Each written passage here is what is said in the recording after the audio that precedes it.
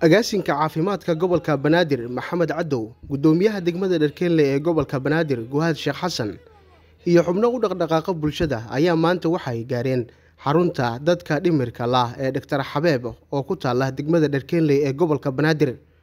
Ujeeddada ayaa ahayd ukuurgelidda xaaladda adag ee ka jirta xarunta oo lagu xanaaneeyo boqolaal ka mid ah dadka dhimirka la.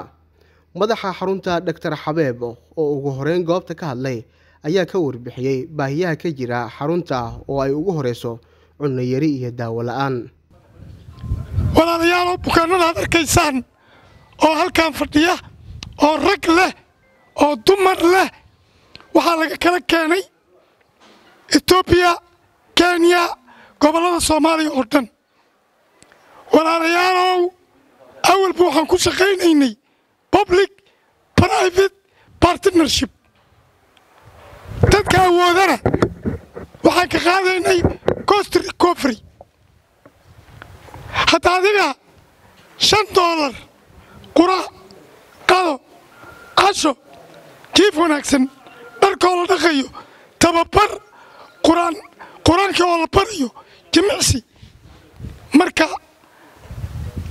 waxay ahayd private. Iyo public. Oo ah dad anaga isku xil saaray ilaa soddon iyo todoba hadda ku jirta. Waxaan rabnaa marka cost recoverygii dadkii baraafitka ahaa way soco waayeen. Baqaarkii raashinka waa eber waxaan dhaqdhaqaaqan iyo motifationkan iyo juutigaan u bixinaynaa in raashiin nalaga soo gaarsiiyo. Raashiin ma hayno birri dabka wax la saaro lama hayo cabdulqaadir abaawul oo ka mid ah dadka u dhaqdhaqaaqa bulshada ayaa ugu baaqay dhammaan shacbiga soomaaliyeed madaxda dowladda iyo intii ilaahay uu waxsiiyey inay garab istaagaan xaruntan. War sadaqada meeshay ku baxaysa mahaana ka mida haweenaa joogo haweenkaasoo masaakiina oo dhibaato hayso sokoraa jirtaa la leeyahay waxaa jira dhiikaraa jiro wax kastaa jirto war guddoomiyaha waa ku mahadsan yahay. Ditoorka iyo dhakhaatiirta la shaqaysa waa uga mahad celaynaa war maanta meeshaan caloolxumaa taal qof allaale qofka alla waxsiiya hore u dhiiba adaa helaayee amba sahay mid kalow heraayee hadhowna kuu hidiyey ma doonaan horaa loo yidhi. Warnimayahow xoolaha waa laydinku imtixaamaa adduunyadaad uga tegaysiin xisaabteedaad leedihiin maahane wada layma kartiine ha laydinla cuno ilaahayna ha idinku janno siiyo. Agaasinka caafimaadka gobolka banaadir maxamed cadow ayaa sheegay in xaruntan ay hayso adeeg loo baahan yahay isaga oo sheegay in muhiim ay tahay in la garab istaago xarunta lagu xanaaneeyo dadka dhimirka la.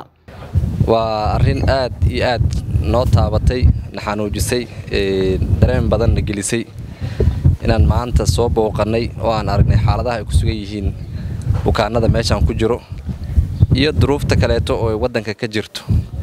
Waxa waaye laba arrin oo isku timid mid walbana midka kaleeto oo ka culus yahay. Waddankii oo abaara ka jiraan dhibaatooyin badan ay ka jiraan. Dadkaanoo dana xanuunsan oo dhimirka ka xanuunsan oo meeshaan layskugu keenay.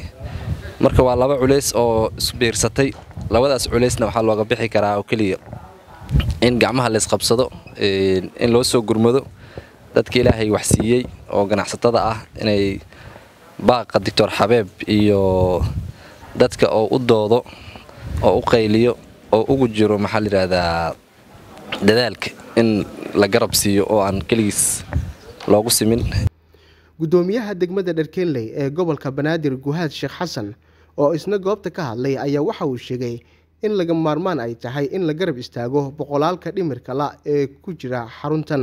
Runtii meeshaan sidaad u jeedaan dad xanuunsan oo bukaana ku jiro horey waan u mahad aniga laakiin waxaan leenahay ummadda ka shaqayso inay caawiso dadkan dhibaataysan meelaha kale waxgeynayso runtii doctor xabeeb wax ka mudan oo maanta muqdisho joogo inay jiraan u malaymaayey dad xanuunsan oo meeshaan ku hayaa dadka xanuunsanna qaar badan oo ka mid ah waxay ka imaadeen meelo fogfog oo dadkoodii ma joogaan. Sidaa darteed waxaan leenahay hala caawiyo. Guud ahaanna qof kasta oo wax ku tari karta marka laga reeba hay'adaha dad badan oo wax haysto oo moodo sadaqada inay yartaa jiro sadaqa yaraa ma gasho waxaan leenahay walaalkeen hal caawiyo iyo dadkii uu haayo. Mas'uuliyiintii gaartay xarunta ayaa kormeeray qeybaha ay ka kooban tahay. Xarunta dadka dhimirka la ee doctor xabeeb ayaa waxaa ku jira boqolaal ruux oo isugu jira rag iyo haween kuwaasi oo lagu daaweeyo laguna xanaaneeyo xarunta. Zakariya axmed muuse t v-ga shabeelle muqdisho